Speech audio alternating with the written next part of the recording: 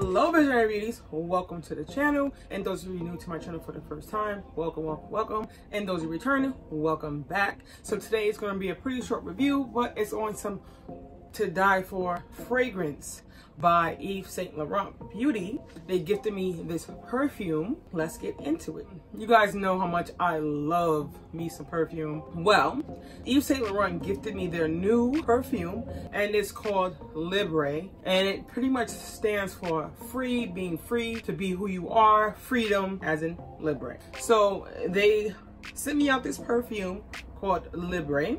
It's about one ounce or 30 mLs. So this is the box it comes in. This perfume is a cross between lavender and orange blossom. I'm a more of a fruity type girl.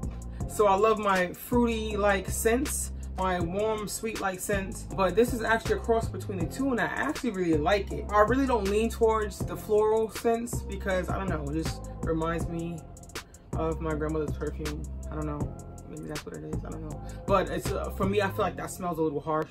But um this is actually really really good. I love the combination. It comes in this gorgeous unique bottle. It's almost like jewelry for your perfume. So i think it's absolutely gorgeous. And it wraps around the side. So you get your pump. So your lid is unique lid. You get your pump and you just spray. Now it sprays a generous amount and I feel like the smell lasts me all day. That's pretty much this product. Like I said, it's gonna be a short review. I do like it. I've been finding myself, as you can see, gravitating towards this scent. I want I don't want to say every day, maybe like on the weekends I gravitate towards this because it is quite expensive. This retails for about $75, I believe. I'll leave all information and a link to purchase down below, so don't forget to check that out. And if there's any kind of coupon codes, I'll be definitely sure to leave that down in the description box as well. So if you guys have used Yves Saint Laurent's perfumes or you have this particular scent, let me know what you think about it. Or let me know if you guys are more of a floral or more of a sweet or fruity type scent person or even a rebel. And let me know what you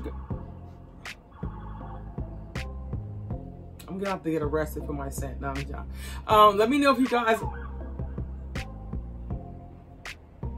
are a rebel and like the combination of you know, the floral mixed with the blossom or the fruity type scents. I will definitely be purchasing a bigger bottle. Please like, subscribe, comment, and share. Don't forget to leave all your comments down in the comment section so I can get back to you. Be sure to follow me on my social media platforms, Annette Beauty on Instagram. Visionary Beauties is my Facebook group, so head over there, join the group, hang out with me some more. And as always, stay fabulous and be your own vision of beauty. Till next time. Bye. Lashes and diamonds, ATM machines. Buy myself all of my favorite things.